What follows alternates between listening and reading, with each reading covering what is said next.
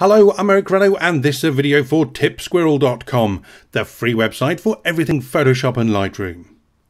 In this video, I'll be using shake reduction in Photoshop Mix. Let's jump in and see how it's done. Okay, first things first, let me tell you how I've got things set up. You can see that I'm in Lightroom at the moment and I've got a collection called Demonstration Images with just this one image in it and this is the image that I'm going to use in Photoshop Mix. Now reason why that is important will become evident a little bit later on but for those that understand what I'm doing you can see from this little icon here that this is currently being synced with Lightroom Mobile. Okay let's jump into the iPad and you can see that I've got Photoshop Mix here all I've got to do is tap on that and it opens up. Now this is only available on iPads. I'm afraid Android people will not be able to use this application. Now straight off the bat we get these little projects and these come shipped with the application. So let's load in our own image. I just tap the cross there and up they come. Now these are images that are currently on my iPad. Now you remember that I showed you just a little while ago that I had an image synced through Lightroom and Lightroom Mobile.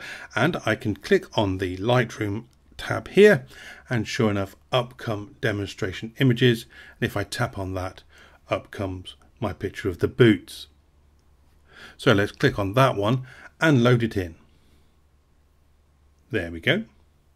There's lots we can do here, but all I want to do is just add a little bit of an effect and reduce the shake.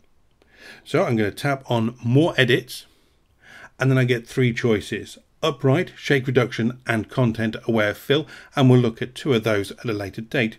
Today we're just looking at shake reduction so I'm going to tap on the middle one there. Now it tells me that it's going to connect to the Adobe Creative Cloud. Now this can be a free account, that's not a problem. So what it's doing here is it's uploading the image to the Creative Cloud. It's then going to apply the shake reduction and then show me the results. The processing power needed to do this is just not available on this mobile device. Okay, takes a little while, but it'll be here in just a second. All right, once it's there, here we go. We've got three options plus our original, and it's applied different amounts of shake reduction. So at the moment, you can see my original. Here's number one, number two, and number three. Now for me, number two is way too much. Number three, I can't really see much difference. Let's go the original and then three. But number one is really where I want to be. All I have to do then is just tap on the tick. And that's now applied. And I can carry on working. I'm going to tap on looks. And these little filters, much you get in different iOS apps and I can just scooch along till I find the one I want. In my case, it's sepia. Tap on that. Now I'm being told that I can use this selectively. Okay, thank you very much. I don't want to, but thank you. And then just tap the tick. Once I'm done with my image, I can add other bits and bobs in it if I wish. And again, we can look at those in a future tutorial. But once I'm done, I click on the little icon at the top here and I can save to Photoshop. And this will save it as a PSD file to the Creative Cloud. I can save to my camera roll. I can get feedback by putting it on Behance and more options is the usual iOS saving options. Let's go back again and I'm going to save to Photoshop.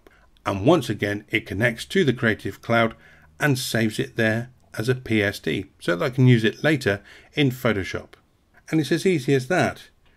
Some amazing power right here on my mobile device. I can be anywhere I like. As long as I've got an internet connection, I can do this on the train, in a taxi, or sitting in the back garden sunning myself. Thank you very much for joining me here. I hope to see you again soon. Till then, bye bye for now.